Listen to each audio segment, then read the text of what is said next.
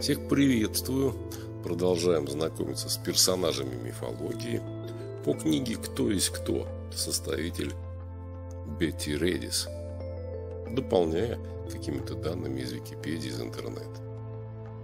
Антиопа – персонаж древнегреческой мифологии, относящийся к биотийскому циклу.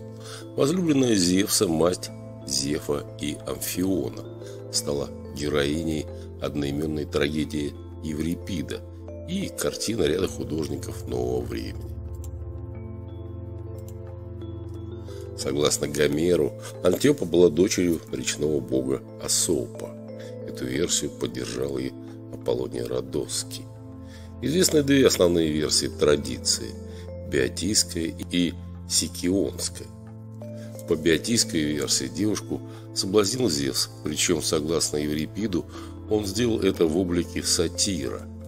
Забеременев от Бога, Антиопа сама бежала Сиккион, где стала женой Эпопея. Антиопа разрешилась от бремени двумя сыновьями, близнецами.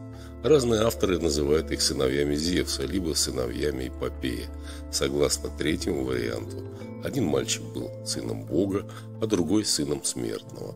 По приказу Лика Младенцев бросили на произвол судьбы. Последующие годы Антиопа провела в заточении, причем ее жестоко притесняла жена Лика по имени Дирка.